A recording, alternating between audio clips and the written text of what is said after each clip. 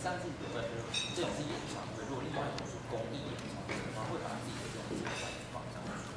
公益演唱会啊，你有机会参加，也会啊，而且也是要看什么主题，就希望尽可能去去切合的主题，那就是在作品上或者在歌曲的情感的传达上面都都会更加的有重点。他有说到那个曲目的关系，如果你可以再加一种按我的话，读到第一点，最好。他说出去马上最好。台上不是跟你讲话吗？对啊，在可是也要有人跟我对唱，就是如果之后还有机会那个再跟阿哲哥一起演出的话，当然就是一起唱这些。你参加节目之前，其实没有想到会找人拿人物为我数，然后从五万变成一百五十万。呃，就是就是所发生的很多事情，如果我当下那个是来不及的，所以就是到最后觉得啊，这些都不要想，就是好就是把歌唱好。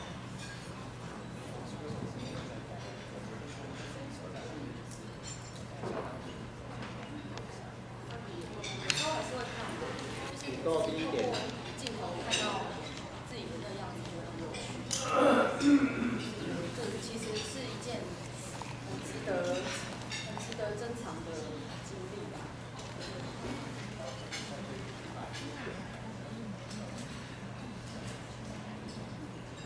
最珍贵的，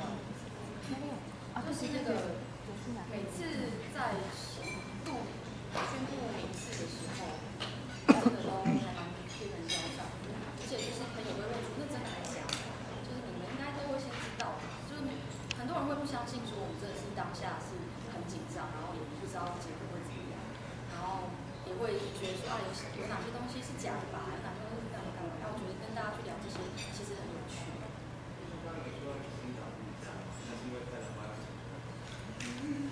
我有青春，我有青春。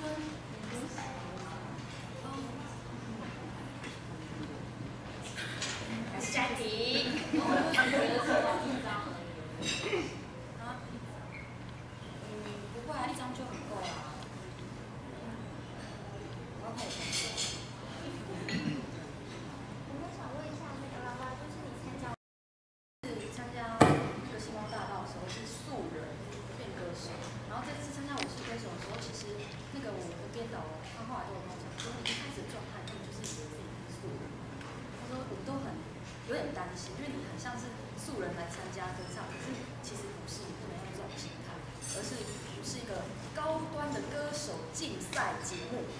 反正他们就是一直会帮我做一些那个心理建设，让我知道说我自己现在是站在什么样的舞台，然后用什么心态去展现自己。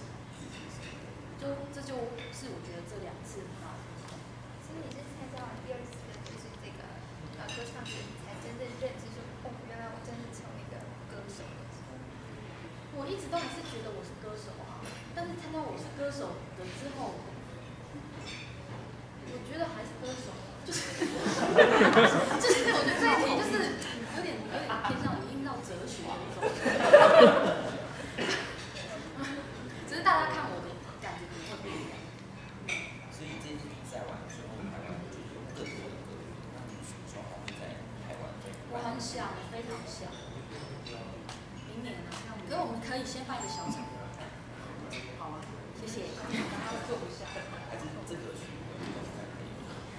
那加一个在台湾？就是都要跟公司讨论，但我自己是很想，